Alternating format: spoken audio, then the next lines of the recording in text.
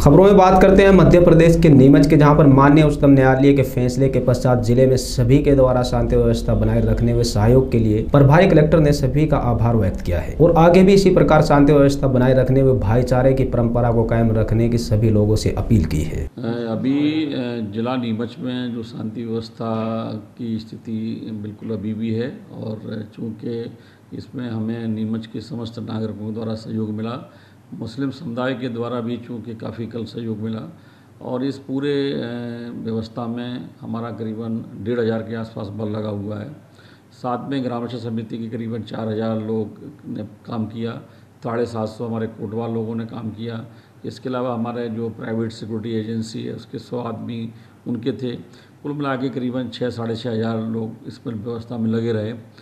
इसके अलावा हमारे शांति समिति के सदस्य और जो भी हमारे राजनीतिक और धार्मिक सरोकार से रखने वाले सभी लोगों का वो सहयोग रहा।